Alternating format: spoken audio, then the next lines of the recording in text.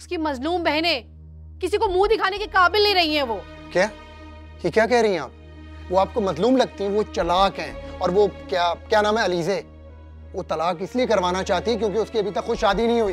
ये वही दूल्हा है ना जो बारात वाले दिन आपको ठुकरा के चला गया था। आपके बाबा का कातिल। अब अचानक ठुकराई हुई दुल्हन की याद कैसे आ गई दुल्हे मिया?